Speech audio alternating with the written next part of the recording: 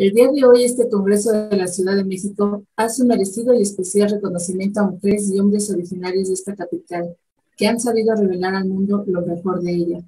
pero además han generado un beneficio adicional al haber, tenido lazos, al haber tendido lazos y puentes con otros habitantes, instituciones y gobiernos de otros países.